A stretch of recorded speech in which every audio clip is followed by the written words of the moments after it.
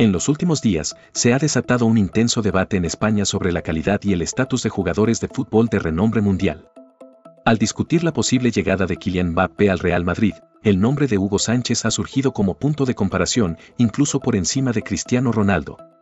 Durante una discusión en el programa de televisión deportivo El Chiringuito, José María Gutiérrez, Guti, es jugador del Real Madrid, expresó su opinión sobre la falta de liderazgo y ambición de Mbappé en comparación con Hugo Sánchez y CR7.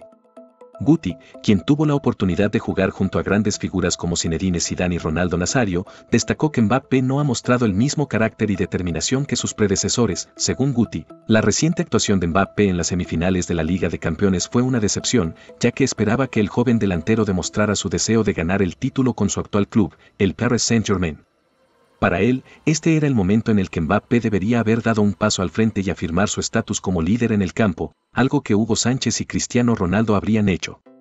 El periodista Jorge de Alessandro intervino en la conversación, mencionando a Hugo Sánchez como otro ejemplo de jugador líder y de carácter, y la reacción del panel fue unánime. Mbappé aún no se ha ganado el derecho de ser comparado con leyendas como Cristiano y Sánchez, estas opiniones han generado un amplio debate en la opinión pública, con numerosos seguidores del fútbol expresando sus puntos de vista tanto a favor como en contra.